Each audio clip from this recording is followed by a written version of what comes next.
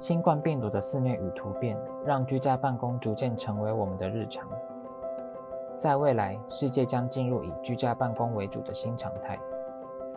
HomeMeet 是一扇提供人们与外界连接的窗口，扩增工作者的办公体验。